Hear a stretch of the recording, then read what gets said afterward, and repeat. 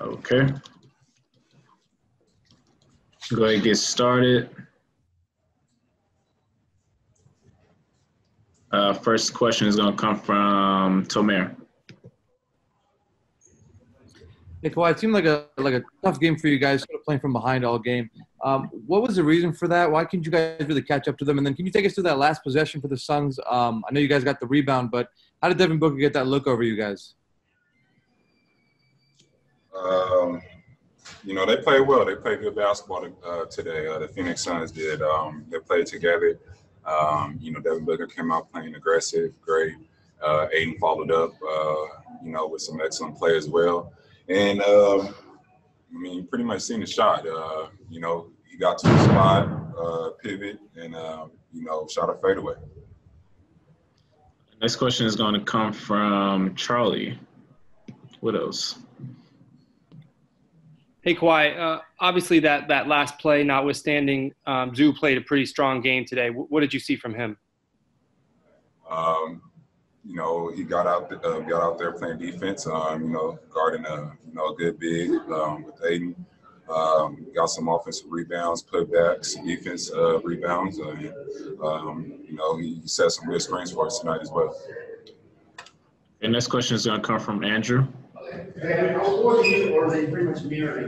Why Doc said that he's a fan of throwing guys right into the fire when they've come back, and Lou played 21 minutes tonight. Just what were your impressions of him, and did you feel like there was any rhythm back when you guys were on the floor together?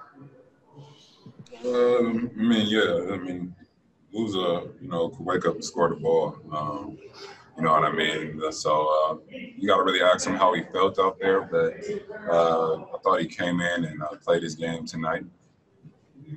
We're going to take uh, two more questions. Uh, next one is going to come from Miriam. Hey, hey, Kawhi. Um, what what did you see from Marcus today? It seemed like he he stayed aggressive despite some shooting troubles that he's had lately. What what did you see from him? What did you like from him out there? Uh, he doesn't give up. You know what I mean? He's playing good defense. Uh, he's playing hard, and um, like I said, he don't give up. Um, you know, if he missed five in a row, he's gonna shoot it like he made ten in a row. And you know, that's what you got to do in this league. You can never get down on yourself. Got to stay in the kill. Okay. Uh, last question is going to come from Owen. Hey Kawhi, uh, knowing what it takes to win a championship after gone through it last year. Can't hear you. Your mic's low.